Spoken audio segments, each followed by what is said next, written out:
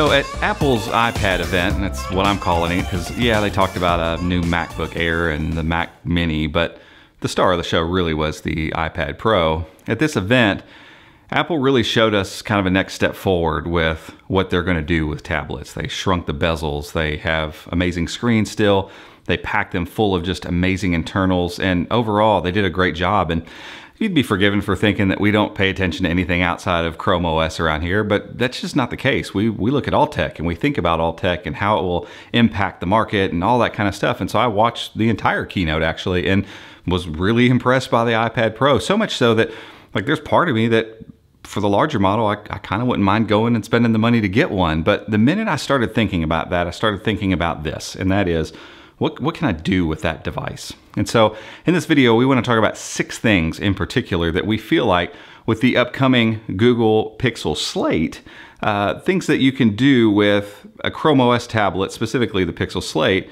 that you can't exactly do on an iPad Pro, even the larger one. And it breaks down to multiple things across multiple ways that you would use both of these devices, and they're not the same thing.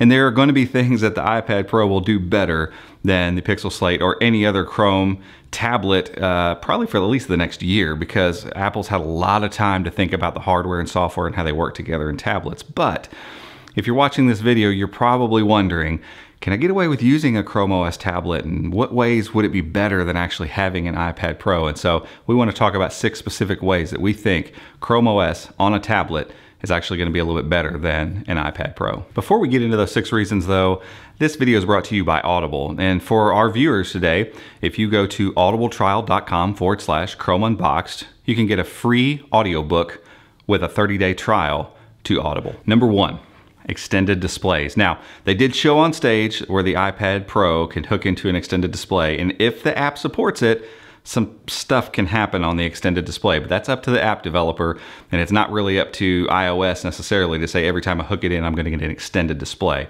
And if you're not sure what that means, an extended display means I get a secondary display I can put other stuff on. So instead of it just mirroring my display, I can actually drag other things onto that. Well, that kind of becomes a difficult process to do when you don't really have a pointing mechanism. And that brings me to my second point. Number two, there is no trackpad, mouse support of any type of pointing device really on an iPad. And that's by design. Apple's been very clear. Like the way that you deal with these touch devices is with a finger. I mean, Steve Jobs was very specific in saying you didn't even need a stylus. Now, of course, Apple's backtracked on that and there's the Apple Pencil.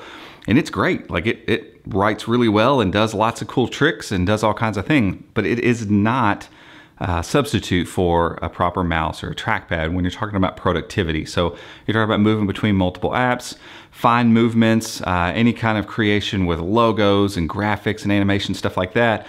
It becomes really difficult to do that just with a pencil and with the blunt thing that is your finger. And so Yes, there is video editing. Yes, there's audio editing. Yes, there are photo editing on iPads. But when you really need to get down and get productive, sometimes you just really, really need mouse support. And especially like we just talked about for extended displays. If I need to move something onto that extended screen and then get to it to do something, well, that extended screen usually is not going to be a touch screen. So all the touch things I have on the iPad won't do anything on that screen. Number three, file management. And I know this has been the bane for a lot of people who want to go out and take uh, photos or videos and then just hook it in and do something because you know, like iMovie is is really good actually. You can you can create some pretty cool stuff with iMovie, but there's been a lot of uh, difficulty moving those files over and getting them in a place where you want to use them. Now there are ways around it and there's workarounds and Apple's even created a Files app in iOS, but it's still not proper file management.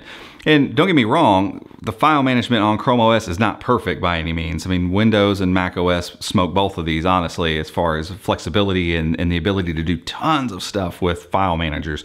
But Chrome OS's file management is getting a lot better and it's getting stronger with each uh, iteration of the OS. And so now you can handle your Linux files, you can handle your Google Play files, you can handle your local Chrome OS files, all in that file manager, move things around, copy things, unzip, zip, all that kind of stuff you can't do most of those things uh, in the Files app for iOS. And speaking of things on a desktop, number four is there's no desktop type multitasking. Now, Apple brought in, I think it was with iOS 10 or 11, something like that, the split screen thing. And so you can pull different apps and there's little shortcuts and that kind of stuff. But if you've ever worked from this type of system for any period of time, because Chrome OS does this, Windows does this, Android does this, uh, split screen multitasking kind of thing, if you've ever worked from it for an extended period of time, uh, you know how claustrophobic it just starts feeling after a bit. Like every once in a while, I want to see my desktop underneath all the windows. And sometimes I just need to move this over here, but I need to move this up here and that one over there and this little thing over in the corner.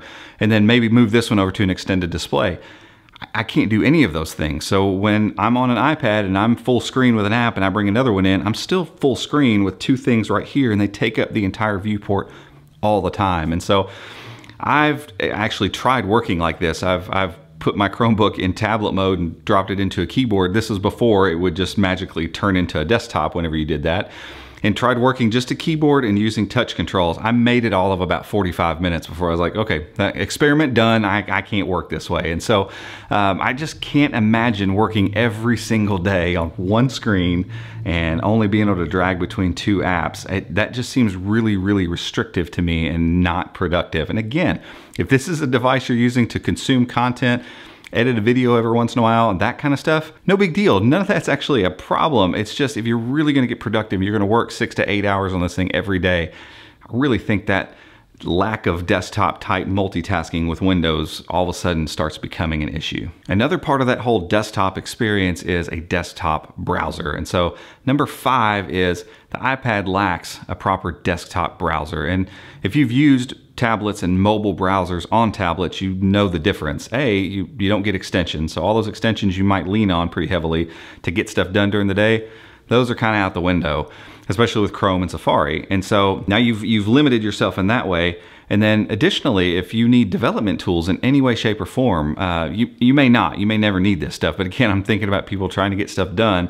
If you need those development tools in, in your browser, those aren't there either. And a lot of times mobile websites just render differently or some websites are set up to detect, are you on a mobile browser or are you on a desktop browser? And so out of the box, you go to certain websites, you're always gonna get the mobile experience. It doesn't matter what size your screen is. And so there's a lot of hiccups when it comes to browsing the web and using it for productivity on a mobile browser. It's just not the same thing. And most of us know that. If you've ever had to use one for productivity, uh, you realize that that mobile browser isn't quite up to par with what you would get on a desktop.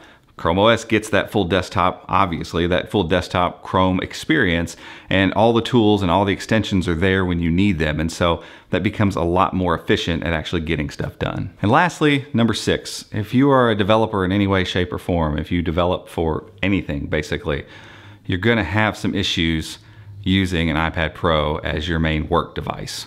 And most of the tools that you would need just simply aren't there. And honestly, they didn't used to be there for Chrome OS either. You would have to either be on Mac OS or Windows, but now you can install Linux apps and Google's made it pretty clear. Like if you want to develop Android apps, have a Chromebook. And installing Linux apps is pretty straightforward and you can have whatever development thing you need in order to get that done at the end of the day. And that's just not there on iOS. So if you look at all six of these reasons together, and there, there are more, we scratched some off the list, but we wanted to kind of keep this condensed. What we really are trying to show you is not that iOS is inferior or a waste or not good. It is not to say that the iPad Pro is not an amazing piece of hardware. It looks really, really amazing. What we want it to do is help you choose is an iPad with iOS 12 or something like the Pixel Slate a better option for me. And as we look at, for instance, with the new iPad Pro's pricing structure, all of a sudden the Pixel Slate doesn't look so bad. Everybody was kind of freaking out about how much it was going to cost, and now it's like, oh, well, that's not that bad.